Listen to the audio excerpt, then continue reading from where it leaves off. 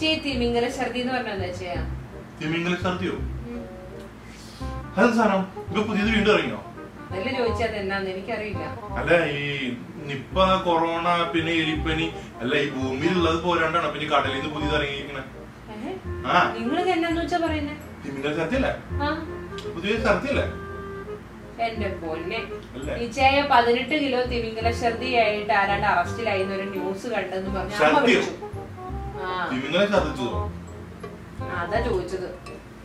അതെന്ത് സംഭവം നോക്കി? പതിനെട്ട് കിലോ ഛർദി കൊണ്ട് നടക്കണാണോ ആൾക്കെന്നെ വട്ട. അല്ല തനിക്ക് എവിടെ കിട്ടിയേ? അമ്മ ചോദിച്ചതന്നെ ഈ തിമിംഗല ഛർദി എന്ന്? പറഞ്ഞാൽ എന്താ സാധനം എന്നാണ്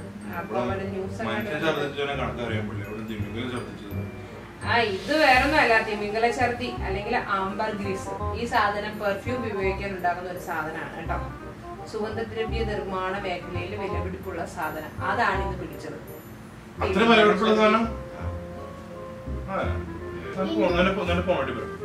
ഞാൻ നോക്കട്ടെ. വാട്സപ്പിൽ.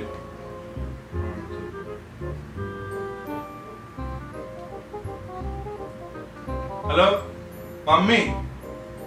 ഈ തിമിംഗല ഛർദിനെ കുറിച്ച് ഡൗട്ട് ഉണ്ടായിരുന്നു മമ്മിക്ക്? ഇതൊന്ന് അവളിലേക്ക് അയച്ചു ചോദിക്കല്ലേ മമ്മി. എന്റെ വാട്സപ്പിലേക്ക് അയക്കണ്ടേ? ആ ഇത് തിമിംഗല ഛർദി എന്ന് പറഞ്ഞു കഴിഞ്ഞാൽ അതെ ഛർദി ഒരു നമ്മൾ പെർഫ്യൂം ഉണ്ടാക്കാൻ വേണ്ടിട്ട് ഉണ്ടാക്കുന്നതാ. ആ അത് തിമിംഗല ഛർദിച്ചിട്ട് ആൾക്കാർ കൊണ്ടുപോയി ഇപ്പൊ പോലീസ് പിടിച്ചതാ. പെർഫ്യൂം ഉണ്ടാക്കാൻ വേണ്ടിട്ടാട്ടോ. നല്ല വിലപിടിപ്പുള്ള പെർഫ്യൂം ഉണ്ടാക്കാൻ വേണ്ടിട്ടാ.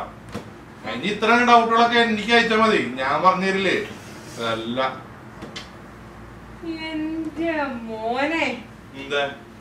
സമ്മതിച്ചല്ല ഫോൺ മേടിച്ചപ്പോഴേ ഞാൻ വിചാരിച്ചു അതിനെ ആരെങ്കിലും പറഞ്ഞു കൊടുത്ത പോലെ ഡൗട്ട് ആരെങ്കിലും പറഞ്ഞു കൊടുത്ത